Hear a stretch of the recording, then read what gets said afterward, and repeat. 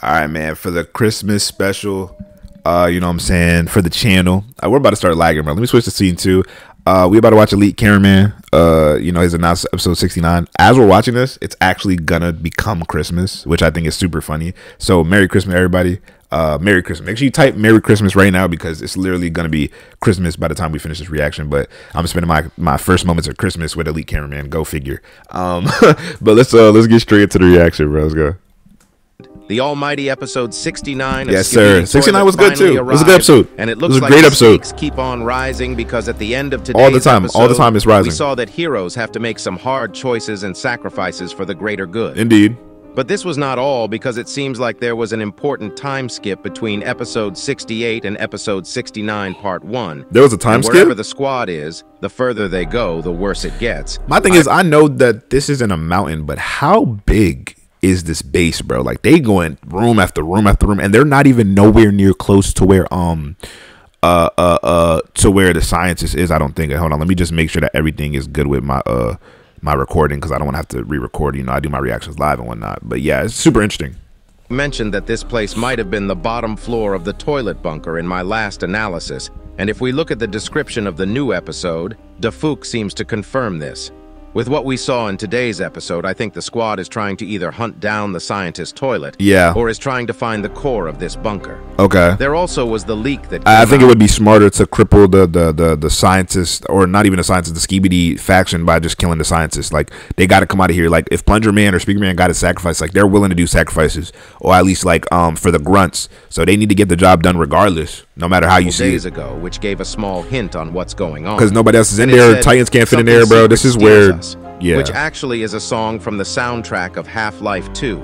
Interesting. Even though this is the case, I think the name itself was a hint at what might be going on. But before we get into all this, you need to make sure that you like the video. And I also mentioned that only 29% of you guys were subscribed. This Hey, I'm meant that more than 71% of you weren't subscribed. it's And crazy that 29% of the people who watch his videos equates up to like 1 million subscribers. So if the other people subscribe, he probably be up to like 4 or 5 mil. He's famous, bro. I be telling you, these famous people. I can't do it. day, we I don't know how to do it, bro. To only 69% of Wow. you not being subscribed. If you want to help get to 69% before episode 69 fully ends, make sure to subscribe. We can probably me get too. Make sure y'all sub up. or in the episode Sub up for the ghetto reactions, man. Sub up for the ghetto reactions. 69 part 2 analysis. Anyways, here we go. Episode 69 part 1 literally starts with a jump scare and sets the tone instantly. A Strider-like small toilet attacks us, and this Mm. toilet actually is a reference to Valve, who made the Half-Life games. We can Shout out Valve, shout out valve Steam. stuck on his eye, just like how the company Valve used to have something very similar. Oh, I never and knew once that. again, we are in the POV of Plunger Cameraman, but because of what we are about to see, it's clear that a decent bit of time has passed, and Plunger Cameraman seems to have gotten Yeah, some because of the weapons. Yeah, right. 68 and Why, why did he skip all of that? I would like to see how he got his weapons, like how he got his bag that deep. Jump scare, he first punches this toilet with his right hand, and the valve toilet stabs Plunger Cameraman's left hand. But this doesn't stop Plunger Cameraman because he actually reveals his first upgrade. Slowly, four little blades come out of his right hand, and he Nice. seems like a mini Wolverine. But that's not Literally. all, because right after he knocks the valve toilet back, he pulls his plunger and something is clearly That's a good different. move, taking the spike It through the hand. It now has spikes all over it, making it an extremely destructive weapon. That it's boy's good a to finally fighter. see the plunger cameraman being able to use his plunger a lot better now that it has some upgrades. He swings the plunger so hard that the valve toilet hits the wall, and instead of flushing the toilet normally with his plunger, He just smashes destroyed it, into yeah. his face. But alongside that, we actually saw something weird just now. If you look at the ground when plunger cameraman knocks the valve toilet So into the wall, yeah, we can actually see a human skeleton, yes. A real human skeleton. And these skeletons are actually scattered around the That's a human. room. Oh, I think this oh, actually yeah, might be okay. one of the biggest hints we have gotten about Okay, the origin yeah. of the Skibidi toilets. so they because are. if there are actual humans. human bodies here, this probably means that the toilets weren't the ones who made this place. Alongside that, one of the skeletons actually has a lab coat, and I think you know where I'm getting at. I don't know if this is the direction DaFuq is going, but there is a really good chance that the toilets actually were the results of some research and lab trials that went wrong. We can't really know what exactly happened if this is the But case. how would they get this maybe powerful? These You know what I'm scientists saying? were doing some experiments and created the toilets. As a result, the toilets went rouge and started spreading. And like so I mean, because even if you take this but route, this makes me think of what the like e- e- even if you take this route, right? If you take this route, then you you just got to say to yourself, well, then did these other factions exist before the Skibidi toilets? So were TV people, all of those, did those people live among humans? You know what I mean? It's. I'll tell you right now, Skibidi ain't ending no time soon if this is the route we taking, bro. Because it's a lot of questions that need to be answered if if it's all that. agent wants. If this experiment theory is true, I think there are two possibilities about the secret agent that might also be true. There is a possibility that the secret agent is trying to search for the truth of the toilet's origin. Or maybe he also used to be a scientist at this facility. And he might be trying to fix his old He's definitely fighting for the humans. We already know that he is a very smart individual because the gadgets he has are no joke, and he has abilities that suppresses normal humans. I'm sure that we'll get to know more about this topic in the next couple episodes because that seems to be the way we are going right now. After Plunger Cameraman kills the valve toilet, we also see the Dark Speaker Man going ham on all the toilets, and it seems like this place is filled with parasite toilets, but the squad is too good to get infected. I mean, they we got actually see Dark two of the main Speaker Man guys. almost getting infected, but he removes the parasite toilet instantly and uses his speakers on him right before smashing into the ground. This does make me wonder if he has an anti-parasitic body because at this point I think every and I also didn't know little agents. Yeah, I didn't know little agents could get have affected.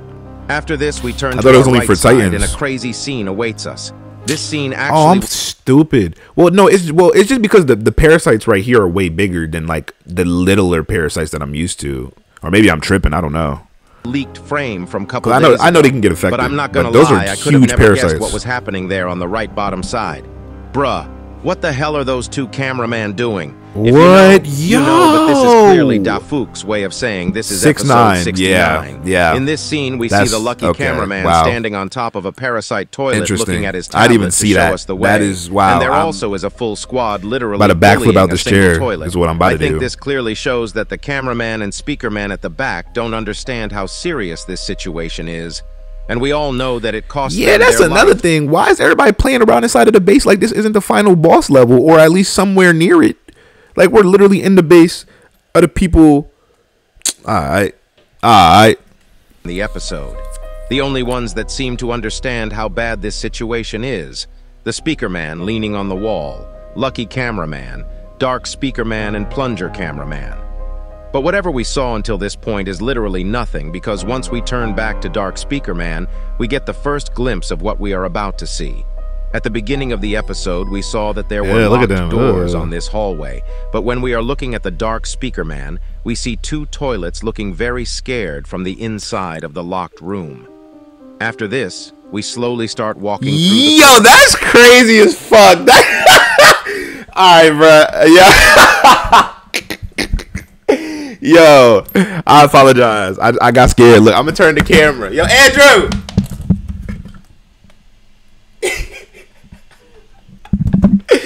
Yo, he scared me through the mirror. That is crazy. That's so yo. That just oh my god, my heart, my heart. Yo, that's a jump scare.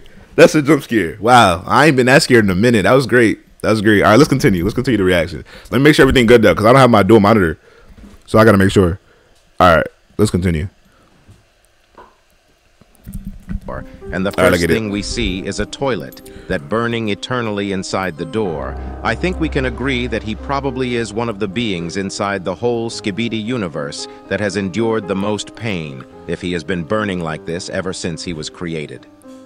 After this plunger cameraman looks to the right side, and we see a big-headed toilet staring into the hallway. Right. This probably is a reference to something or means something, but I have no idea what it is. If you do make sure to comment it down below, a second later we see the lucky cameraman going ahead of us with his tablet still in his hands to open the door. And we actually see one more human skeleton here, but that's not the only skeleton we see because Plunger Cameraman turns to his left, and the last locked room we see actually has skull toilets just like the Berserk skeleton meme. After this True. Plunger Cameraman I, I don't know if it's the berserk skeleton, but that, that's a pretty random reference to just make. Him and he kinda sees funny. the speaker man dancing while walking through the corridor and not gonna lie. Why are The they music dan- like, why are y'all right here. dancing? And once we turn back, Nah, it- it was smacking. and we are It had me hitting the a little shoulder. If you watch the reaction, if you know, you know. Continue, I want to let you know about the Roblox game I've been cooking up for a while.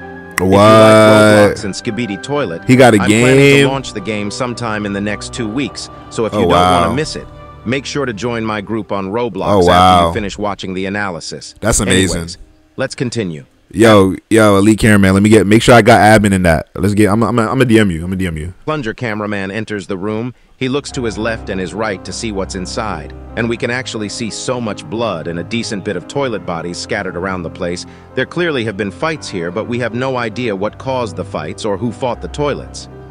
Seconds later, a cameraman head gets thrown next to us, which leads plunger cameraman to turn back and we see a mutant toilet coming out of Yeah, nowhere. that mutant toilet He looks jumps insane. down from the upper floor and literally a. They're gonna be assassinates threats in the future, who looks like really bad, like really big threats. In episode 66. We can clearly see that he is different from an ad. This is your garbage trash browser, and this is Opera GX. Bro, don't tell me what my browser look like, dude. Different front he other two mutant toilets, and he looks a lot more crazier compared to the other two. For some reason, I know that the other two mutant toilets are not that normal either. But this guy just They got has a really big heads. Vibe, and he also has a And, metal yeah, his head is, like, very strong normal. and most likely capable of great amounts of strength.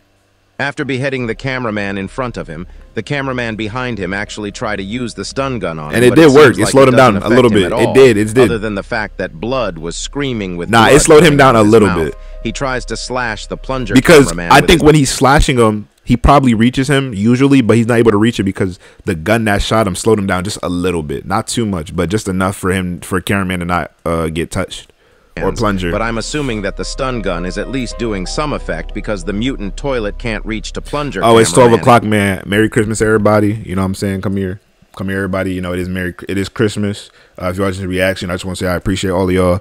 Um, y'all changing my life, and y'all been changing my life. Shout out Skibidi, shout out Boom, shout out Lee Cameraman, shout out everybody that show love, shout out Koofy. Um, I'll probably give like a whole nother video, just a little, little, little Merry Christmas, but uh, mwah, you know what I'm saying? I got to get this work in. Um, but let me finish out, finish out this video real quick, uh, for y'all boys. Uh, let's get it. Time, and plunger cameraman hits him with the spiky plunger twice once he gets back a little. Yeah, But this doesn't stop the mutant toilet from holding the plunger cameraman's head and screaming into him.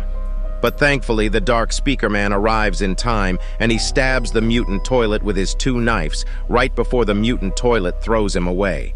And right at this scene, we can also see another human skeleton on the right side. Yeah, interesting. And maybe the blood and the toilet bodies in this room are left over from the first days of the toilets being made Wow. and fighting against the human scientists. Right after, Plunger Cameraman throws his plunger into the mutant toilet's head, completely destroying his head and killing him.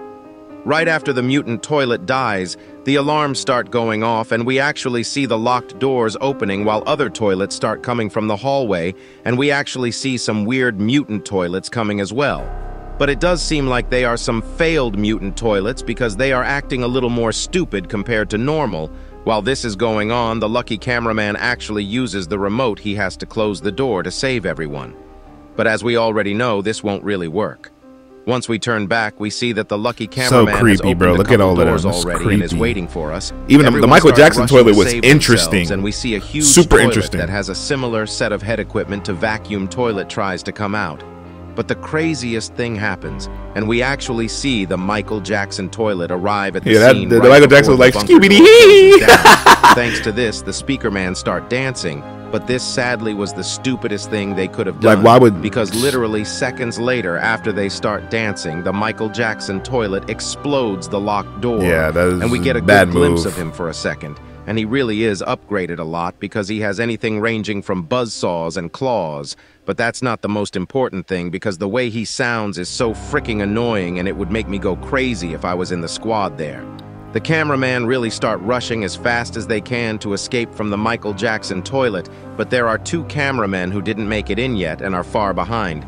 We also see a small detail on the boxes and it says 150686 on it, but I have no idea if this means anything.